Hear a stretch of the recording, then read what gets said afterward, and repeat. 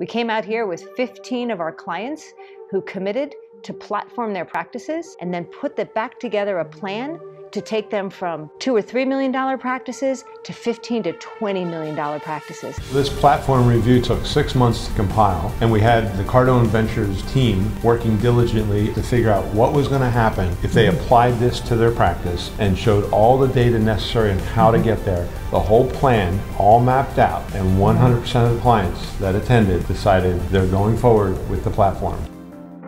I'm thrilled to have you guys here. Uh, the Cardone Ventures team has been working on your behalf diligently over the last six or seven months.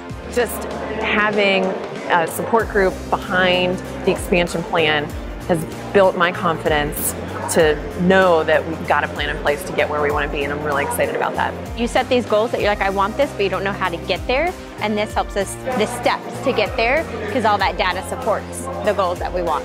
We want to grow as fast as we possibly can, but the way this is designed is going to allow us to have a growth and sustain a growth. We're creating a macro impression that is going to be the new standard in medicine across the world.